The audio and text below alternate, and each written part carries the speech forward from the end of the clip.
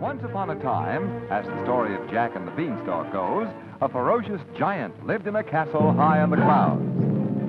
The giant. So, Mrs. Giant hid Jack in the oven. Isn't this exciting? Ho, ho, ho! Something smells good enough to eat. Mmm. Oh, but you don't want to eat that boy. Cook the boy, woman. Right now. A protein-rich H.O. cooks in just three minutes. Three minutes? Do your flavor good. We were pan-toasted for finer flavor before we were packed. And notice how we're all precision cut to cook up extra smooth and creamy.